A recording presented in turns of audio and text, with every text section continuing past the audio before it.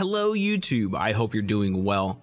In today's video, I want to talk about something that I believe is going to make your life easier when you're looking to take the Microsoft Office Specialist certification exam or one of the Adobe certification exams.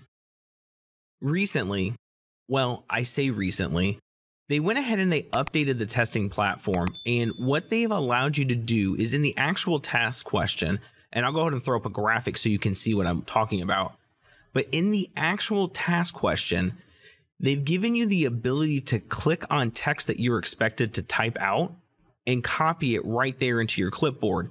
Now, if you've watched any of my other videos regarding Microsoft or even Adobe, you know that I have said multiple times be careful how you type text when it's in regards to a task question.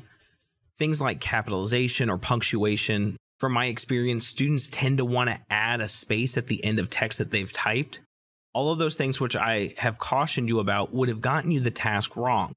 But now that Certiport has updated their testing platform so that you can just click on the text that they want you to type, you can actually just paste it to wherever they want you to in the project using the Control V keyboard combination on the exam. I was a little bit leery when I saw it on one of the tests I was taking because I was afraid maybe it wouldn't paste correctly.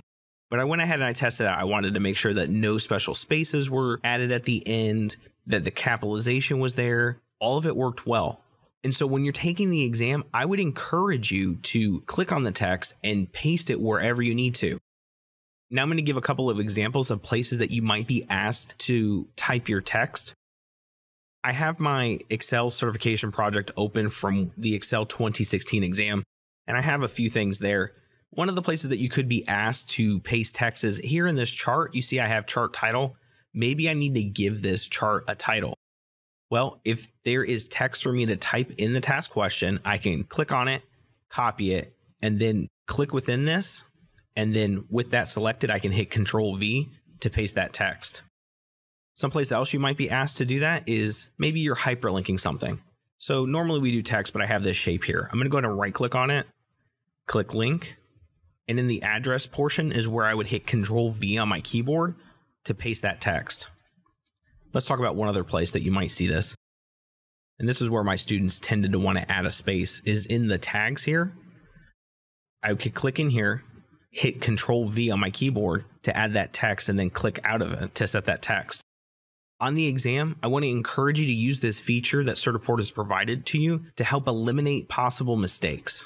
Of course, I would be cautious. I would maybe look at the text just to make sure everything got pasted correctly. But this is not only going to save you time, but it's going to help you be more accurate as you're going through the exam.